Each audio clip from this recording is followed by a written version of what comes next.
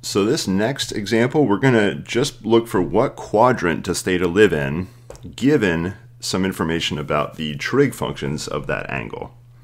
So you need two trig functions in order to figure out precisely what quadrant the angle's in.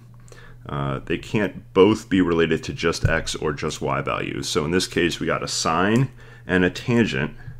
All right, let's start with sine because sine is one uh, is just y. So sine is y, and y is less than 0. oh, don't turn it into shape. Okay, so y is less than 0.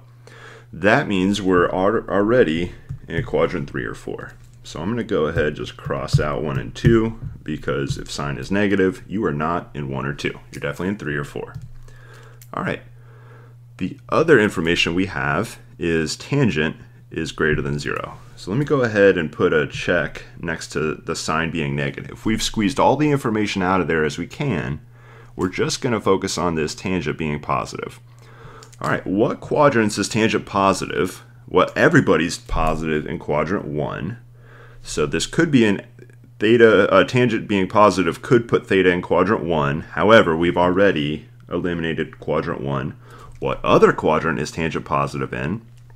Well, just think tangent is y over x, and that's positive. So uh, you might be tempted to multiply by x, uh, but uh, you, you're looking at a very dangerous equation because you multiplied by x, and you don't know if x is positive or negative. If x is negative, the inequality sign flips. So this inequality I just wrote down uh, right here, you don't actually know if y is positive or negative using algebra. So let's use common sense instead. So y over x is positive. That means there's two possibilities.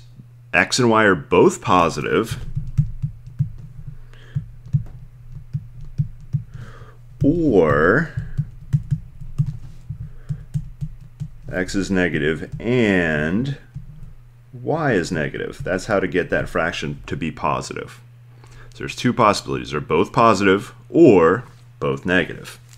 So which of these is happening? Well, we already know y is negative. So that means uh, this y greater than 0 is not happening. So I'm going to go ahead cross this out. This is not occurring.